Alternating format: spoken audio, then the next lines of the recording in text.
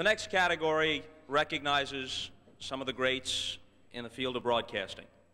And it's appropriate that the presenter fits into that category himself. Last year at the first dinner, he was inducted into the broadcasters wing of the New York Sports Hall of Fame and Museum. Through the years, he has been the voice of the Knicks. You all recall good like Needix, the Giants and the Jets on the radio, innumerable national broadcasts.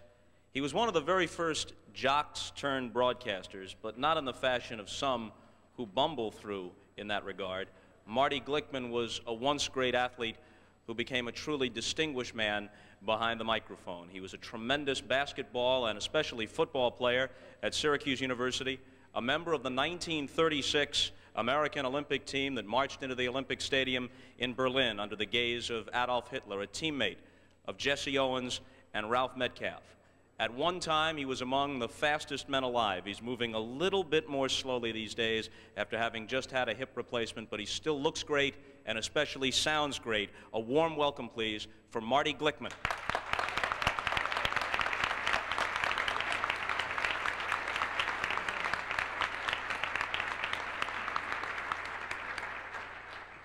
Thanks, Shorty. My chore this evening, a most pleasant one. The names I'm to present to you are as well known in your home as your own. Certainly, the names of Don Dunphy, Vin Scully, Marv Albert need no introduction from me. You know virtually all about them. But it's almost proper and fitting that I present them because I was there at their beginnings, their very first broadcasts, their earliest beginnings in broadcasting. Marv Albert can't be with us tonight. His mother passed away last week. He's sitting shiva at home. Marv was uh, a ball boy for the New York Knicks when he was 14 years of age, when I was broadcasting those ball games, and he aspired to be a broadcaster and he got to be one of the very best there is.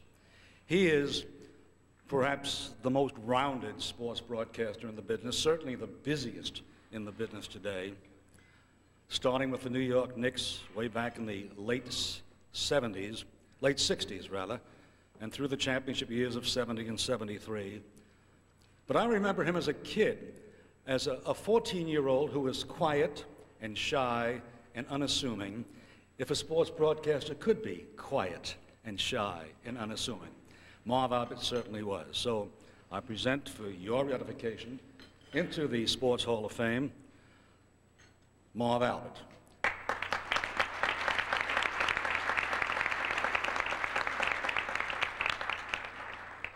Back in 1940, the Gillette Razor Company took over the broadcast of boxing at Madison Square Garden and throughout the country as well. Previous to that time, there had been a number of well-known fight broadcasters. Sam Taub and Angelo Palangi, perhaps, were the best-known combination in the group. And uh, Clem McCarthy did a good deal of boxing as well as horse racing. You remember that famous story about Clem and Bill Stern at the uh, um, following the Kentucky Derby. Uh, the Preakness, that's right, when uh, Clem, for the first time, called the wrong winner. It was an entry, and uh, Bill kept sort of rubbing it in. As we say in Yiddish, he stucht him. Uh, kept mentioning the fact that he called the, the wrong winner on, on the broadcast. And finally, Clem had it up to here, and Clem said, Well, Bill, you know you can't lateral a horse. Broadcasters will remember that one. At any rate, Gillette, Gillette organized an audition of a light heavyweight fight at Madison Square Garden, wherein the best broadcasters in America were invited to compete for the job as the fight announcer in the years to come. The best there were Bill Stern for two rounds, Ted Husing for two rounds, Bill Slater for a couple of rounds, Earl Harper, a well known New York broadcaster then, for a couple of rounds. My old boss, Bert Lee, for a couple of rounds. Dick Fishell, who preceded me in doing the Giant Games so many years ago. former Syracuse athlete, for a couple of rounds. And there was room for a kid named Don Dunphy. They could fit him in in the latter portions of the fight. He was a virtual unknown. He'd been at Manhattan College, a New York City boy, and uh, had been on the track team there, a middle distance runner, ran the 400, the 800, uh, helped win several Penn relays for Manhattan College, and was a sports director at WINS, did all sports. He was in the audition as well. No one thought he had a chance. He won the audition. And since that time, he's been making boxing history. He's broadcast on radio and TV more than 2,000 prize fights, more than 200 championship fights, 50 World's Heavyweight Championship fights. The voice of boxing for lo these many years, an old friend and dear friend, Don Dunphy. Don?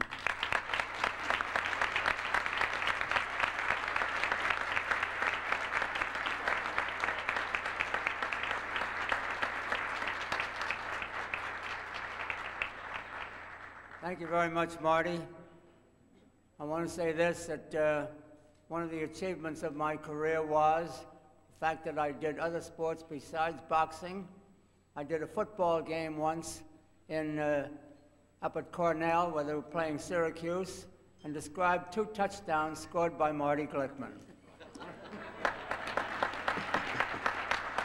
that, that wasn't yesterday either.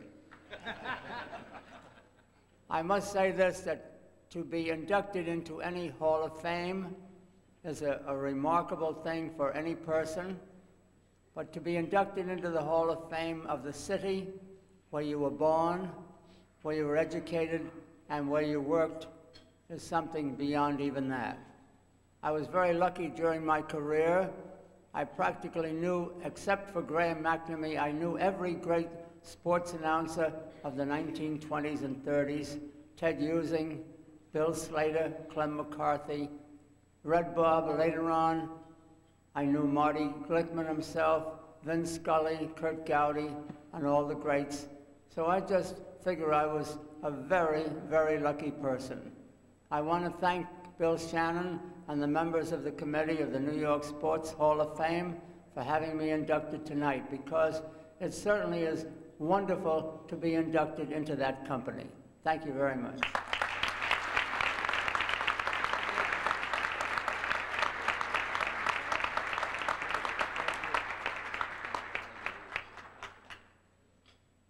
The morning following that football game, I get a phone call at my fraternity house in Syracuse saying, Marty, frankly, we want to cash in on your publicity. Will you do a college radio broadcast for us? It was a local haberdasher in Syracuse. And I said, You don't mean me. I'm nervous. I stutter. I stammer. I've never been on the air. He said, I'll pay you $15 a broadcast. I said, I'll take it. That's how I started broadcasting. Not quite the same way is Vin Scully. Vin Scully, who comes out of Bogota, New Jersey, that is, went to Fordham, served a, a hitch in the Navy in World War II, went back to Fordham, worked for WFUV, the Fordham FM radio station on campus. Did some work in 1949 for Red Barber on football. Uh, Red had a roundup of football games. Red was so impressed that when the Brooklyn Dodgers went from just radio to radio and TV, and they needed the third broadcaster, Vin Scully was selected by Red for that job. And I think that even to this day, that trio of Barber, Connie Desmond, and Vin Scully may well be and have been the best three-man combination in the history of baseball broadcasting. They were really that good.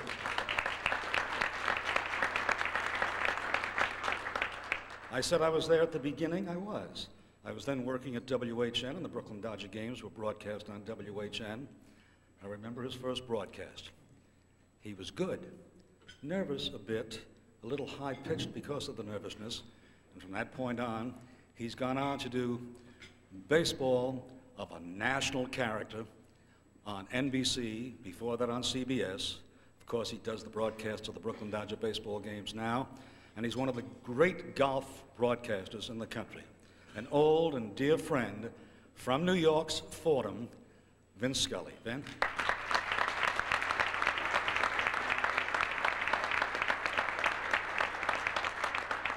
Thank you, Marty. Good evening, ladies and gentlemen. If you don't mind, I would like to share one thing with you. And I feel particularly pained for Marv Albert because one of the great joys of coming back here was I spent last night at dinner out sharing a glass of wine with my 90 year old mother. So I can understand how he feels.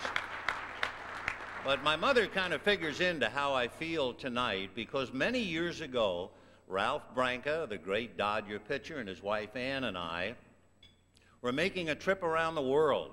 And we had an audience with the Pope. He was then uh, Pope Pius, he was formerly Cardinal Pacelli, and he was very much a holy man who looked like he had stepped off a holy picture card. So the morning came for the audience with the Pope, and it is very well planned. They move you from room to room to room. And finally, you are in the last room next to the Pope's apartment, and there were about 20 people. We formed in a U, and the Pope came in, and there were these windows, French windows, with the light streaming through, and it was really an overwhelming sight. Now, my now 90 year old mother, red haired Irish lady, had said to me, Remember every moment of the audience so that you can share it with me when you come home. I said, Yes, Mom, yes, Mom. And now the Pope began to work his way around the 20 people. And he spoke all the languages in German, in French, in Italian.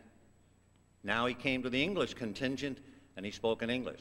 They had instructed us not to speak to the Pope. You would reply if the Pope spoke to you. And as he worked his way around, I was getting more nervous by the moment. And I kept thinking, now, Mom wants to know everything, so remember everything. And now he came to Ralph Branca, and he said, Where are you from, my son? And Ralph said, Mount Vernon, New York, Your Holiness. Oh, the Pope said, I know exactly north of the Bronx. Wonderful. Now he turned to Anne. And Anne violated the rule. She had some rosaries in her hand, and she said, would you bless my family, Your Holiness? And he did. And now he turned, and here was my moment. And I'm thinking, remember every word, every nuance, every look, so that you can bring it home to your mother. And I swear to God, he turned and looked at me and said, Are you with them? and I went like that, and he moved on. I am honored. I am delighted. I am humbled.